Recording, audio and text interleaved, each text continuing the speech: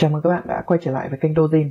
Các bạn thân mến, One Love It Love, tiếng Ý, Quando l'amore e sensualita là một bộ phim khiêu dân năm 1973 của Ý do Vittorio De Sisti đạo diễn. Bộ phim kể về một nữ bà tước suy đồi, tuổi trung niên nhưng vẫn hấp dẫn, buộc cô con gái trẻ tuổi và nhút nhát của mình phải kết hôn với một người bán thịt giàu có. Nhưng mối quan hệ tình dục của cặp đôi đang gặp rắc rối, bởi vì cô gái đã chia sẻ những ức chế của mình. Vì vậy, cô từ bỏ nhà của mình và tìm nơi ẩn náu tại nơi ở của chị gái. Trong thời gian cô vắng nhà, chồng cô tìm thấy niềm an ủi trong vòng tay của mẹ vợ.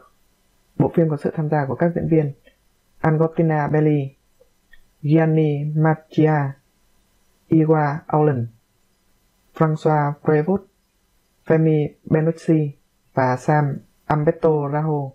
Sau đây chúng ta cùng tìm hiểu cốt truyện của bộ phim. Câu chuyện thật đơn giản.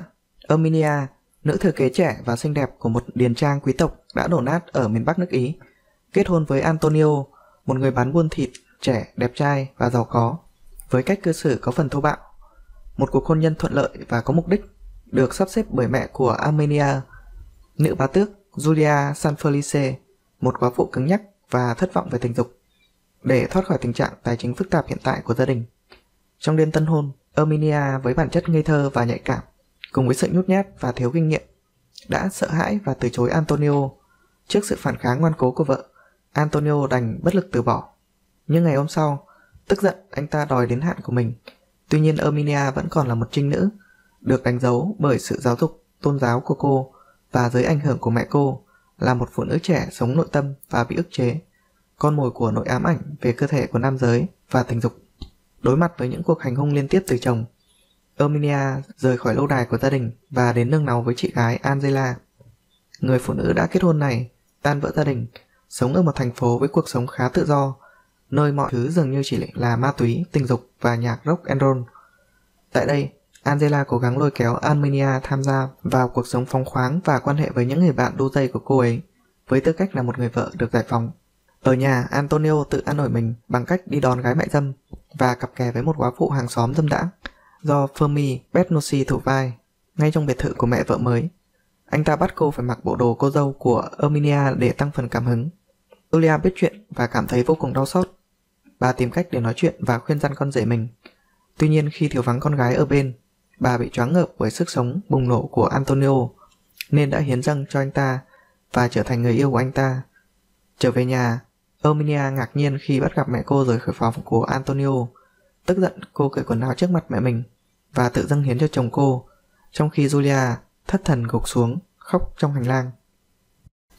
Bộ phim bị lãng quên này là sự phản ánh của chủ nghĩa Nhật Thành vào đầu những năm 70, khi việc tự do hóa kiểm duyệt đã tạo ra khả năng xử lý rõ ràng các đối tượng mà cho đến nay yêu cầu sử dụng tính gợi ý và sự tinh tế chắc chắn bị hạn chế, nhưng phù hợp để tạo ra một số tác phẩm phong phú và tác phẩm tinh tế.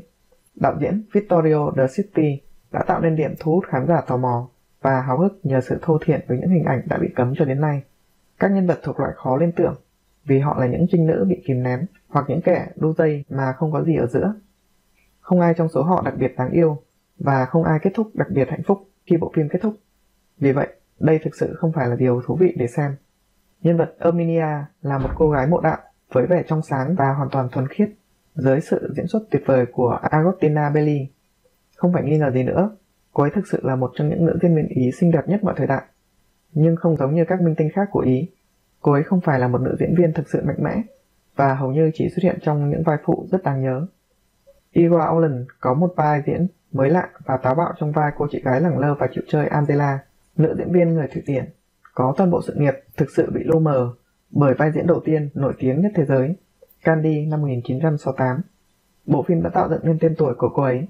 Trong bộ phim lần này, cô ấy đảm nhận một vai diễn hoàn toàn trái ngược với kiểu bình thường của mình, một cô gái quyến rũ, ngây thơ và trong sáng, để thay vào đó là một kẻ đu dây không vui vẻ và mệt mỏi. Cũng không thể không nhắc đến nữ diễn viên xinh đẹp Femi Benossi đầy gợi cảm, người luôn giỏi với vai trò một cô gái quyến rũ, đầy khiêu gợi. Và cảnh cô ấy đeo mạng trên mặt cô dâu của Erminia để quan hệ với Antonio thực sự rất đáng nhớ. Gianni Machia đã làm rất tốt. Anh ấy không cần phải ép buộc tài năng của mình quá nhiều để mang lại sự sống còn của mình. Cuối cùng, François Fevot mang đến một chiều kịch tính cảm động cho nhân vật người mẹ cam chịu. Người không may sẽ tiết lộ cho con rể những khiếm khuyết bí mật của bà Ok, cảm ơn các bạn đã theo dõi. Tạm biệt và hẹn gặp lại các bạn trong các video tiếp theo.